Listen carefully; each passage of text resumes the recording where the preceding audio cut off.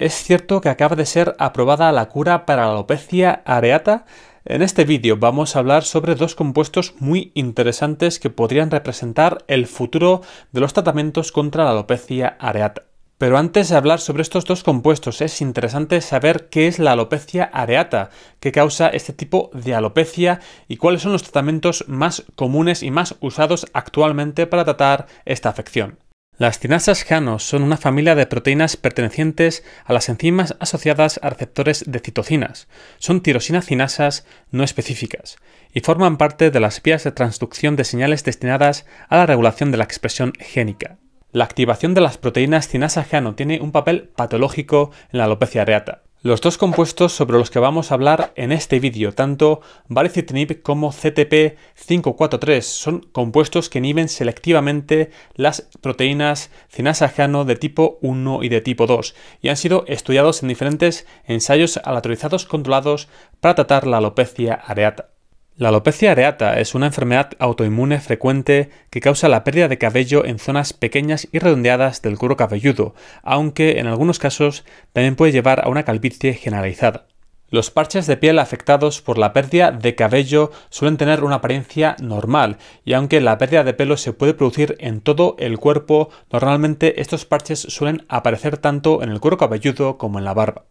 Aproximadamente el 0,2% de la población mundial sufre alopecia areata y la prevalencia estimada de la enfermedad a lo largo de la vida alcanza el 1,7%. La alopecia areata es una de las causas más comunes de pérdida de cabello de inicio abrupto, aunque es menos frecuente que la alopecia androgenética o el efluvio telógeno. Y algo curioso de la alopecia areata es que ambos sexos se ven igualmente afectados, y aunque puede ocurrir a cualquier edad, la incidencia entre edades más tempranas es mayor. La alopecia areata es la forma más común de alopecia que se presenta entre los niños. La alopecia areata parece tener su origen en el sistema inmunitario. La desregulación de dicho sistema hace que este ataque a los folículos con cabello en crecimiento en ciertas zonas del cuero cabelludo, debido a que solo los cabellos en fase de crecimiento son atacados, los folículos con cabellos que no están en fase de crecimiento se mantienen intactos.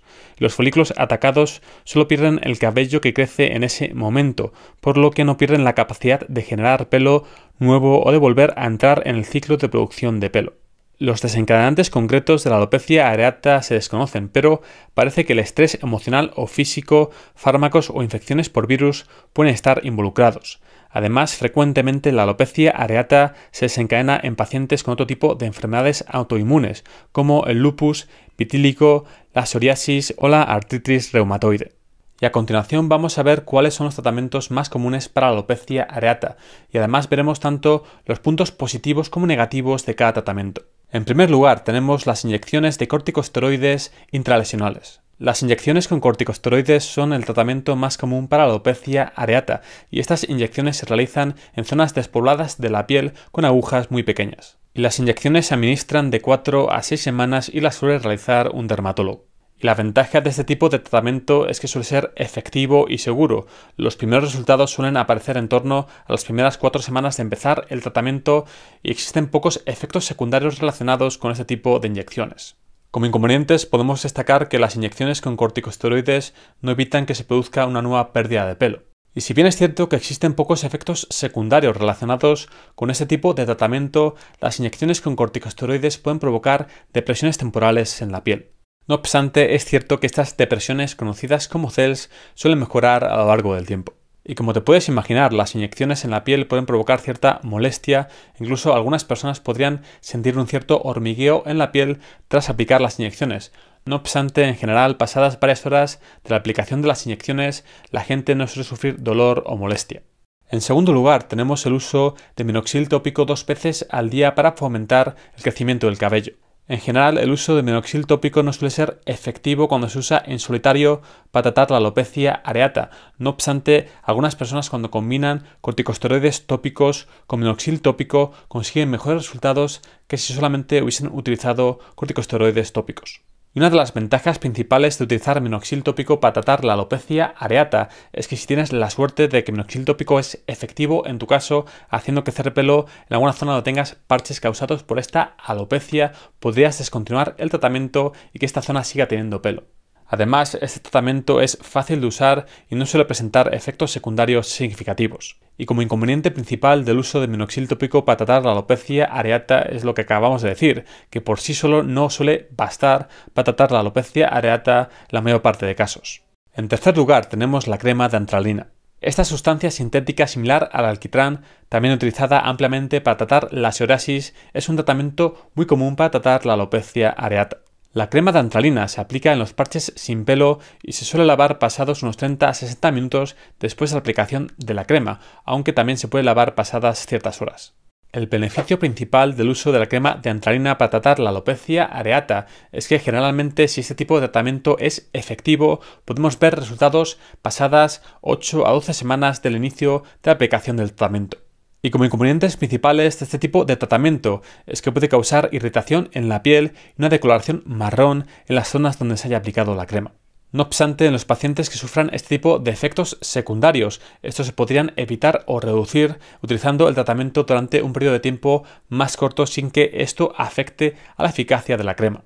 Y en cuarto lugar tenemos el uso de los corticosteroides tópicos. En la alopecia areata se cree que el uso de corticosteroides reduce la inflamación alrededor del folículo piloso. los corticosteroides tópicos pueden venir en diferentes marcas, concentraciones y preparaciones, como soluciones, lociones, cremas, espumas o ungüentos. Y la ventaja principal de este tipo de tratamientos es que han demostrado ser efectivos en pacientes con alopecia areata.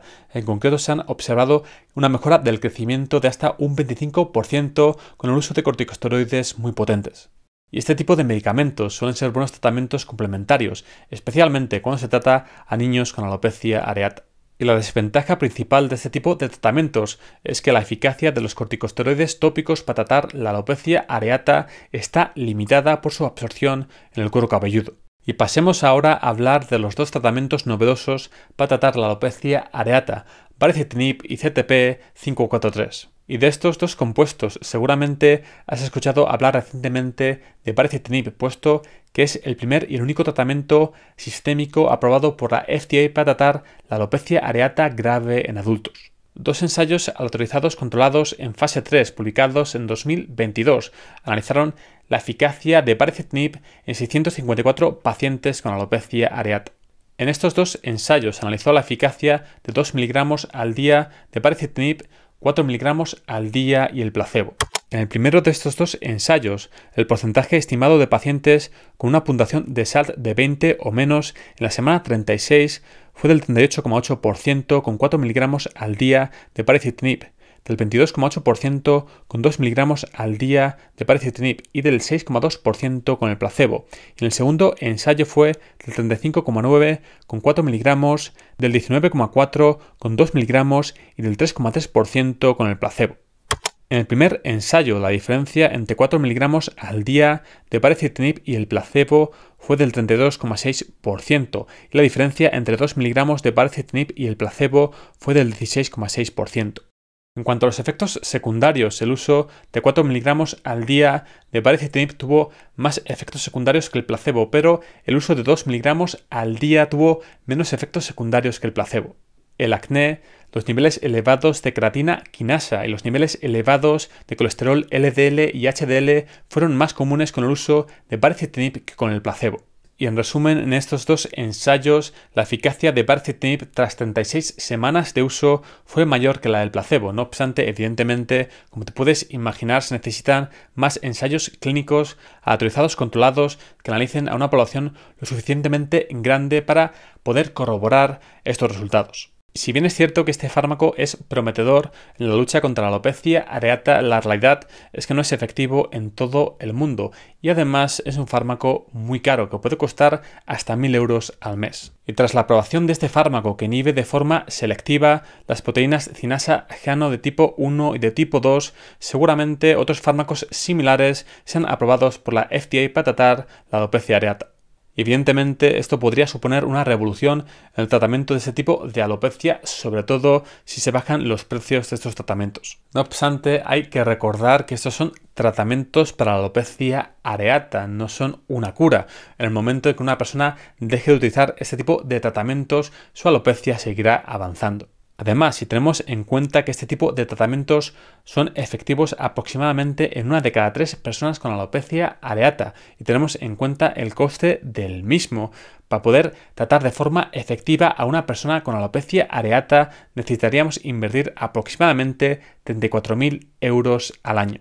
Por tanto, si no bajan los precios de estos medicamentos de forma significativa, por muy efectivos que sean, a la larga no acabarán ayudando a mucha gente. Esperemos que tras la aprobación por parte de la FDA de este medicamento para tratar la alopecia areata, la Comisión Europea también apruebe el uso de este compuesto para tratar esta afección y que esto conlleve una disminución significativa de los precios de estos medicamentos. En España, aproximadamente 25.000 personas sufren alopecia areata y a continuación veremos el caso de María Guaita que fue tratada con baricitinib. Aquí tenemos el estado de María antes de empezar el tratamiento. Como vemos, sufría una alopecia areata grave. Y aquí tenemos el estado de María después del tratamiento. Como vemos, la mejora que experimentó fue sencillamente brutal. Antes de seguir, si este vídeo te está gustando, dale a like. Y si te preocupa la salud de tu pelo, suscríbete al canal para no perderte ningún vídeo. Y a continuación vamos a hablar de CTP543, otro medicamento que inhibe de forma selectiva las proteínas cinasa-jano de tipo 1 y de tipo 2. Y otro estudio publicado en 2022 tuvo por objeto analizar la eficacia de CTP543 para tratar la alopecia areata moderada a grave en adultos durante un periodo de 24 semanas. En este ensayo autorizado controlado por placebo, los pacientes se dividieron aleatoriamente en grupos para tomar 4 miligramos, 8 miligramos o 12 miligramos de CTP543 o placebo cada 12 horas durante 24 semanas. Tras las 24 semanas que duró este estudio, el porcentaje de pacientes que experimentó una mejora en la gravedad de su alopecia desde el inicio fue de un 9% con el placebo, un 21% con 4 miligramos dos veces al día de CTP, un 47% con 8 miligramos dos veces al día y un 58% con 12 miligramos dos veces al día con CTP543. Y hubo una diferencia significativa en los grupos que utilizaron 8 miligramos dos veces al día y 12 miligramos dos veces al día de CTP en comparación con el placebo. Y estas diferencias fueron observadas tan pronto como 12 semanas después del inicio del tratamiento y el perfil de seguridad de este compuesto fue similar al de otros tratamientos inhibidores de las enzimas cinasa geano de tipo 1 y de tipo 2. Los autores de este estudio concluyeron que los pacientes tratados con CTP543, 8 miligramos o 12 miligramos dos veces al día experimentaron una reducción significativa en la severidad de su alopecia areata. Evidentemente, como te puedes imaginar, necesitamos más ensayos autorizados controlados que analicen la eficacia de CTP543 para tratar la alopecia areata y que confirmen estos resultados. Me gustaría que te quedases de este vídeo con 7 ideas claras. La primera es que sabemos que las proteínas cinasa geano juegan un papel patológico en la alopecia areata. La segunda es que tanto baricitinib como CTP543 son tratamientos interesantes para la alopecia areata, puesto que son inhibidores selectivos de las proteínas cinasa-jano de tipo 1 y de tipo 2. La tercera es que la aprobación por parte de la FDA de baricitinib para tratar la alopecia areata puede suponer un antes y un después en el tratamiento de esta afección y es que, a diferencia del tratamiento convencional más efectivo para la alopecia areata, los corticosteroides inyectables, tanto paricitinib como CTP543, son tratamientos orales que son mucho más fáciles de seguir y de usar. Quinto, a pesar de que estos compuestos novedosos son efectivos para tratar la alopecia areata, no son una cura. Lo normal es que cuando una persona interrumpa el tratamiento su alopecia empeore. Sexto, estos tratamientos novedosos son muy caros. Baricitinib puede costar alrededor de 940 euros al mes, lo que supone un gasto de más de 11.000 euros al año. Por lo que sería necesario una reducción significativa del precio de estos tratamientos para que la mayor parte de la gente que tiene alopecia areata los pueda utilizar. Y por último, necesitamos más estudios autorizados controlados que analicen a una población lo suficientemente grande y que analicen la eficacia de estos tratamientos novedosos, que la comparen contra el placebo y que además la comparen contra los corticosteroides inyectables, que son el tratamiento más popular y más efectivo a día de hoy para tratar la alopecia areata y además a ser posible que esos nuevos estudios comparen la eficacia de estos inhibidores de las proteínas cinasa-jano de tipo 1 y de tipo 2 contra los corticosteroides tópicos, minoxidil y la crema de antralina. Si en tu caso tienes alopecia androgénica y quieres saber cuál es el mejor tratamiento para este tipo de alopecia, tienes que ver este vídeo de aquí. Y si quieres ver más vídeos como este, suscríbete al canal aquí.